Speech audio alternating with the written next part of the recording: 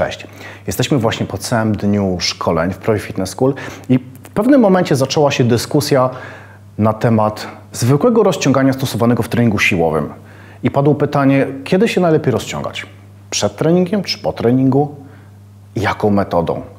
I w zasadzie dyskusja nawiązała się z tego względu, że kiedy zajrzycie do książek, mm, kiedy zaczniecie słuchać wszystkich autorytetów od treningu siłowego, od zwiększania mobilności, to w zasadzie wszyscy mówią to samo, że przed treningiem, w czasie rozgrzewki specjalistycznej, nie wolno stosować stretchingu, tylko rozgrzewkę co najwyżej dynamiczną, a po treningu siłowym można się rozciągać.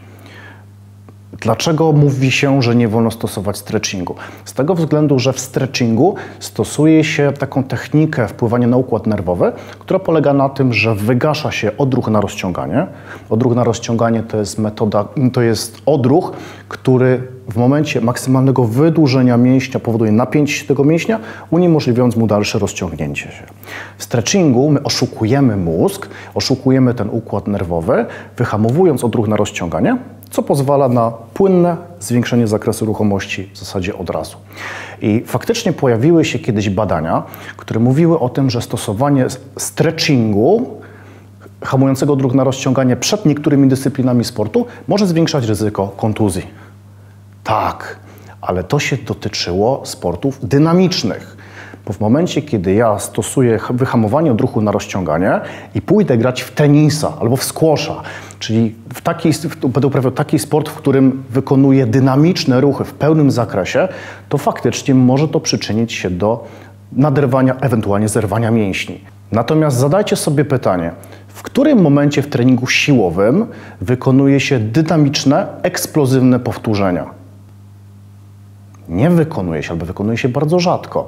Z tego względu, że w treningu typowo siłowym, nie, nie motorycznym, tylko siłowym, raczej powtórzenia są wykonywane powoli i w niepełnym zakresie ruchomości.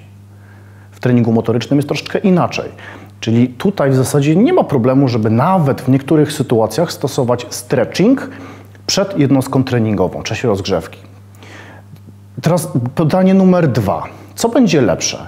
Jeśli przyjdzie ktoś, kto ma mocno zamkniętą klatkę piersiową, z przykurczonym piersiowym, przykurczonym najszerszym grzbietu i w takiej pozycji, bez uprzedniego rozciągnięcia mięśni, będzie chciał wykonywać trening, to co będzie lepsze? Wykonanie stretchingu, który od razu zwiększy mu ten zakres ruchomości i pozwoli na lepszą pracę w większym zakresie, czy wykonywanie ćwiczeń przy tak zamkniętej klatce? W zasadzie odpowiedź nasuwa się sama.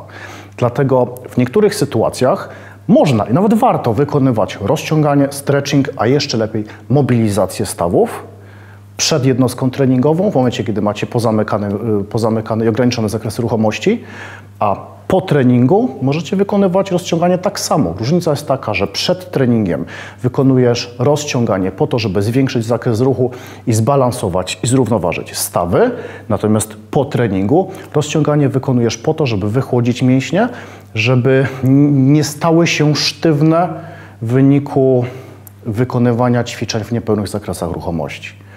Także z jednej strony książki od zawsze mówią coś, a z drugiej strony trzeba wszystkie narzędzia treningowe dopasować do Twoich potrzeb.